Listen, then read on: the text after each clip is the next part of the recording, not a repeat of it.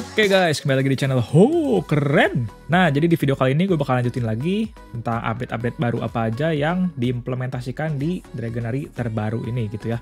Dan di video sebelumnya gue udah bahas juga tentang token-token baru yang ada di Dragonary termasuk distribusi CYT yang baru. Jadi kemarin tuh paling banyak yang kena impactnya itu player-player yang akun rarity-nya itu di common dan uncommon ya. Karena yang common dan uncommon itu sekarang ini udah nggak bisa uh, dapet token CT lagi ya. Dan kemarin juga kita udah sempat bahas tentang sistem chess yang baru di Dragonary ini. Nah, jadi di video kali ini gue bakal bahas tentang PvP, terus gue bakal bahas juga tentang uh, equipment, sama terakhir tentang leaderboard yang ada di Dragonary ini. Nah, jadi buat kalian yang ngapain ketinggalan sama update-update terbaru, gameplay-gameplay, tutorial, tips and tricks tentang game-game NFT seperti ini, jangan lupa di subscribe karena gratis tapi bisa bikin cuan. Jangan lupa di like sama share juga komen di bawah. Yang mau join Discord channel gue juga silahkan ya, linknya ada di bawah. Nah, tapi seperti biasa ya, video-video yang ada di channel gue itu bukanlah ajakan untuk bermain, bukanlah ajakan untuk berinvestasi juga di game-game NFT seperti ini ya. Jadi kalian wajib ngelakuin research kalian dulu sendiri tentang game-game NFT seperti ini jadi kalian jangan main asal ngikutin aja dari setiap channel-channel di YouTube, dari setiap di Discord channel, dari setiap di Telegram, termasuk dari channel gue juga ya. Itu jangan langsung kalian ikutin tanpa kalian juga pelajari dulu sendiri. Jadi segala keuntungan, segala kerugian itu ada semua di tangan kalian gitu ya. Nah tanpa lama-lama lagi kita langsung aja masuk ke videonya ya. Let's go! Oke, kita lanjut lagi masuk ke update yang legendary ini ya. update yang paling memusingkan yang pernah ada dari Dragonary ini ya. Nah, jadi berikutnya yang mau gue bahas itu di video kali ini itu tentang beta PvP-nya ya. Jadi PvP-nya ini masih dalam bentuk beta. Jadi kalau gue coba sih kalian belum bisa menghasilkan apa-apa dari PvP-nya. Tapi uh, at least ini tuh udah bisa kasih gambaran nanti main PvP-nya seperti apa sih. Jadi kalau kalian masuk ke in-game-nya, nah sekarang tuh ada uh, tombol PvP-nya udah bisa dipencet ya. Kalian tinggal klik aja. Terus kalian bisa pilih yang PvP casual gitu ya. Nanti dia bakal cari matchnya dulu. Ini sih harusnya udah lawan orang betulan ya, karena ini kan tujuan mereka untuk ngetes apakah uh, eh, PvP-nya ini sistem mereka udah berjalan dengan lancar gitu. Dan kalau misalnya ada bug-bug, mereka juga bakal coba memperbaiki gitu ya. Nah, kita udah dapat lawannya nih ya. Uh, lawannya kayak serem nih ya. Lawannya kayak keras. Nah, kalian tuh kalau di komputer sebenarnya bisa pakai keyboard, mainnya cuma agak nggak enak ya menurut gue ya. Dan di atas ini kalian bisa pilih um, auto target gitu, tapi untuk satu naga doang gitu ya. Jadi kalian bisa pilih naga yang mau kalian gunakan untuk jadi auto target itu gitu. Jadi serangan biasanya bakal ngarah ke naga tersebut gitu ya. Nah terus tapi ini sih gue mainnya sebenarnya lebih enak pakai mouse ya. Jadi kalian tinggal klik naganya, terus kalian tinggal klik skillnya, terus kalian klik tujuan naga yang mau di skillnya gitu ya. Cuma ini kadang-kadang suka ngebug gitu sih suka masih nggak bisa milih uh, targetnya gitu. Cuma ini sebenarnya lebih gue lebih biasa uh, pakai mouse ya daripada pakai keyboardnya. Jadi sebenarnya kalian kalau pixel pakai keyboard itu kalian bisa pakai key WERTY gitu ya untuk milih naga 1 sampai 5 kalian, terus pilih skillnya dulu, terus pilih targetnya gitu misalnya nomor 3. Nah, gitu ya. Jadi misalnya naga yang S ini naganya yang Q, kalian klik satu, terus targetnya kalian pilih angka 3 gitu ya. Nah, kita udah membantai si Pijorito ini ya. Selamat Pijorito, Anda masuk YouTube ya. Nah, jadi kita akan menang tuh ya. Nah, kalau menang ini, saat ini kita belum dapat apa-apa gitu. Cuma loading balik aja ke menu gamenya gitu ya. Cuma itu kira-kira udah bisa ngasih gambaran kita lah e, nanti gameplay PvP-nya seperti apa sih gitu ya. Dan PvP itu juga e, nantinya akan menghasilkan token ECT untuk e, para pemenangnya gitu ya. Nah, jadi di sini juga ada keterangan ya. Jadi setelah PVP-nya nanti officially launch, mereka itu bakal ngasih rewardnya dalam bentuk ECT, bukan CYT gitu. Cuma seperti yang pernah dijelaskan juga di video sebelumnya, kalau ECT-nya ini bakal berdasarkan uh, jumlah CYT yang di staking juga gitu ya. Buat kalian yang belum nonton video sebelumnya, silahkan linknya ada di atas ya. Nah, terus untuk main PvP ini kita nggak butuh energi ya. Jadi energi itu cuma kepakainya untuk waktu kalian main Embers sama main Dungeons aja ya. Jadi untuk PvP itu sementara ini nggak usah pakai energi dulu. Nah, terus mereka ini mau memperkenalkan ada sistem Stardust gitu ya. Stardust ini sebetulnya apa sih? Jadi kalau kalian ke in-game-nya, terus di main menunya, di sini tuh ada simbol currency baru juga. Kalau yang ini kan yang kiri Drago ya, yang bisa dipakai untuk breeding sama nyatuin spark untuk yang common sama uncommon gitu ya. Tapi Stardust ini beda lagi nih currency-nya ya. Ini Stardust ini fungsinya untuk nanti kita memperbaiki equipment-equipment kita gitu ya. Equipment ini jadi uh, bisa rusak dan bisa kita perbaiki lagi gitu ya supaya nanti dia sih bilangnya bakal ngasih efek nyala-nyala uh, gitu ya. sama ngasih stats juga ke naga kita. Nah, terus equipment-equipment itu apa sih? Nah, jadi kalau kemarin kita sebelum update yang ini kan kalau kita main Embers itu kan kadang suka dapat uh, cincin, dapat gelang sama dapat kalung gitu ya. Nah, itu tuh kalian sebenarnya sekarang bisa lihatnya di bagian cave terus di Forge. Nah, jadi waktu nanti kalian di dalam Forge ya, kalian tuh bakal muncul gambar-gambar seperti ini ya. Jadi sebenarnya gambar-gambar seperti ini tuh maksudnya pecahan-pecahan dari uh, equipment yang bisa kita bangun. Jadi syarat untuk uh, bangun equipment itu kita harus punya pecahan-pecahan equipment yang sama. Misalnya ya, uh, naikin ini ya, Common Storm Tiara. Jadi kalian harus nyatuin 5 Common Storm Tiara ini untuk nanti bisa jadi uh, Uncommon Tiara gitu ya. Kita coba fuse ya. Terus kalian klik yes aja. Nah, ini kadang-kadang ngasih ngebug ya, jadi tidak ada yang terjadi gitu ya.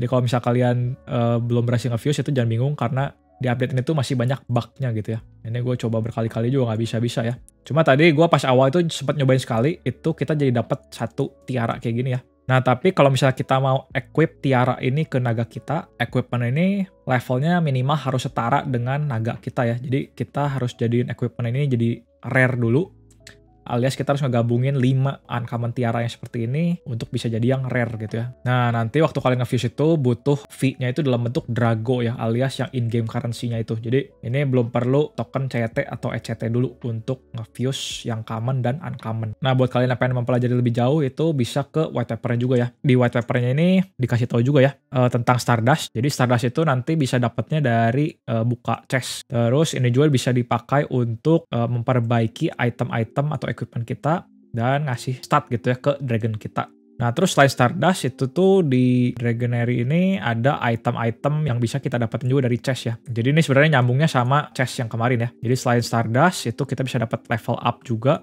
Jadi naga kita bisa langsung di level up kalau misalnya kita dapat item tersebut ya. Terus bisa juga kita dapat item yang level up max. Jadi kalau misalnya ada naga yang masih level 1, level 2, level 3 dan seterusnya kalau kalian punya item level up max, kalian bisa langsung bikin naganya level maksimal gitu ya. Terus ada XP boost juga, ini yang kemarin kita dapat dari uh, chest ya. Jadi XP boost ini bisa dipakai untuk uh, naikin XP kita waktu uh, main di history atau di story-nya gitu ya. Terus ada golden dungeon ticket, ini bisa kita masuk dungeon tanpa perlu pakai energi. Terus bisa dapat skin juga. Skin ini nih pakainya untuk kosmetik aja ya. Jadi kalau misal kalian ke in game-nya, kalian ke bagian cards. Nah, ini ya kalian tuh dan ntar ada pilihan makeover.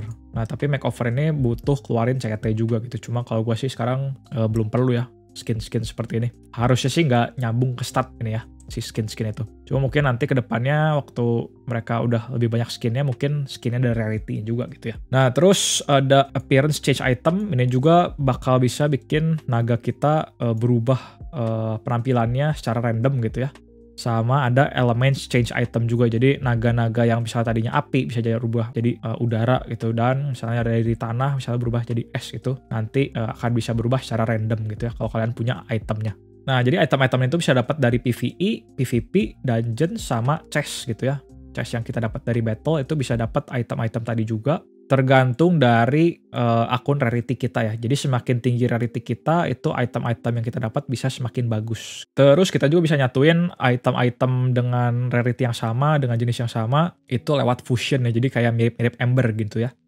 Jadi tadi kita udah lihat juga ya, equipment-equipment misalnya tiara, bracelet, ring itu bisa kita satuin lewat forge ini, terus rarity-nya bisa naik gitu ya. Dan kalau kita mau pakai itemnya itu minimal harus uh, rarity-nya tuh sama sama naganya. Dan rarity item ini bisa lebih tinggi juga ya. Jadi kalian misalnya punya naga yang rare, tapi di equip sama equipment yang uh, epic itu bisa atau equip yang legendary itu bisa gitu ya. Tapi kalau naga yang rare dikasih equipment uncommon itu nggak bisa gitu ya. Jadi minimal harus sama kayak level rarity naganya. Nah, terus di sini dikasih tahu ya cost yang dipakai untuk merging item gitu. Jadi dari gak ada rarity atau sparks itu ya, itu kalian butuh 300 drago buat nge-fuse jadi common. Terus dari common ke uncommon itu butuh 500 drago. Tapi tadi kita cobain gratis ya.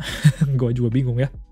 Terus ini masih ada yang hilang ya, gue juga gak ngerti kenapa. Dari uncommon ke rare itu nggak ada costnya, belum dilengkapi kayaknya ini ya. Tapi kalau misalnya dari yang rare, jadi ke epic itu butuh 115 USD, mungkin dalam bentuk CET juga ini ya. Dan ini ada sistem oracle juga. Dan kalau yang epic itu butuh 50 USD untuk dijadiin yang legendary. Nah, terus nanti kalau misalnya kalian dapat equipmentnya, gimana cara equipnya sih?